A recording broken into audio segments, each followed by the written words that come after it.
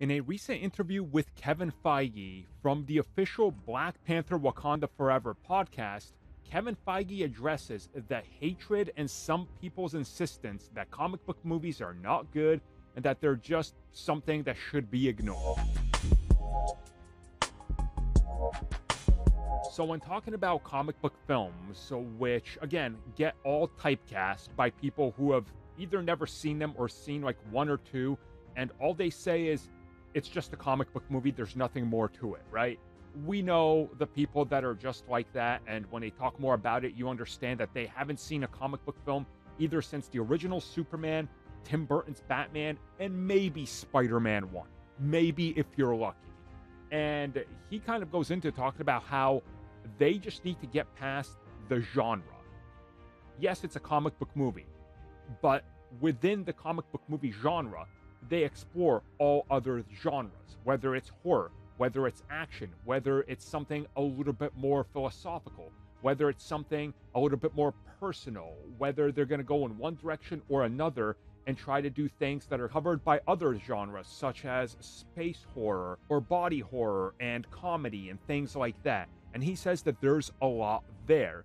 And he doesn't understand why people view things in such a two dimensional way.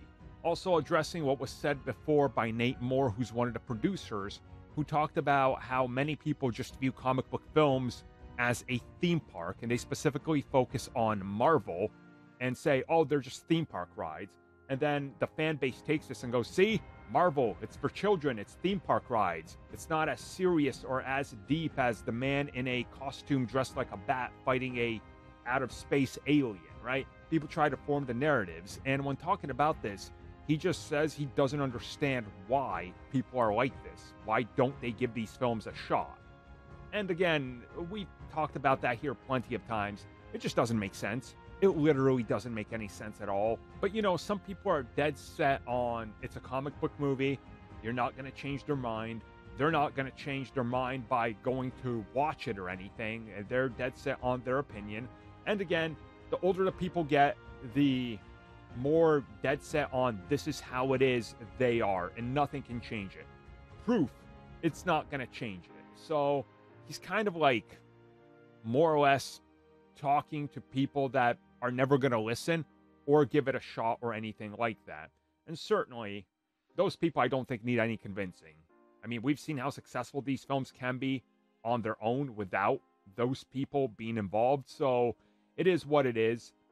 I mean, it's not like you're ever going to get to the day and age where comic book films are being looked upon as something that's like, oh my God, this is truly what saved Hollywood.